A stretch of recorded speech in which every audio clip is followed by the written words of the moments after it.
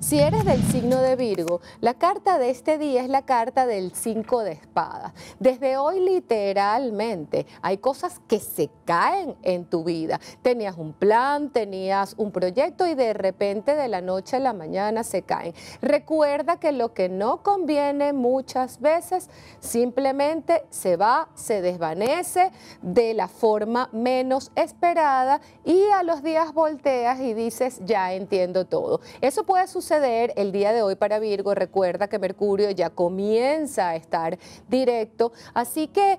Si hoy las cosas se complican o quedas con incertidumbre, limpia un poco con mirra, incienso, copal, alcanfor, palo santo, tu energía, tus espacios y confía que algo bueno tiene que pasar, porque es el final de un ciclo y el inicio de otro. Y además lo vas a ver más o menos en cinco días, porque hubo algo que se cayó y otra puerta que se abrió.